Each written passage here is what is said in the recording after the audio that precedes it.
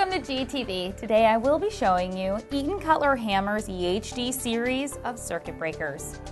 The EHD series are F-frame thermomagnetic circuit breakers with non-interchangeable trip units that ensure that adjustments cannot be made later, eliminating human error.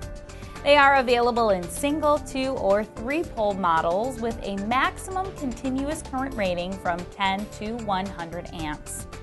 The single pole units are designed for a maximum of 277 volts AC and 125 volts DC, as the two pole and three pole units are designed for 480 volts AC and 250 volts DC.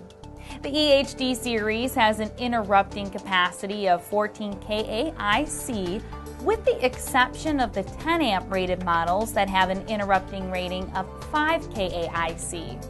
This series of circuit breakers is standard with terminals only on the load end, which can give users more flexibility during installation.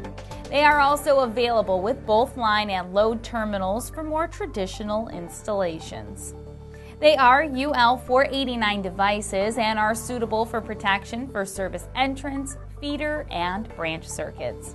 Eaton Cutler Hammer's EHD series of circuit breakers, along with thousands of other products and services, are available at galco.com.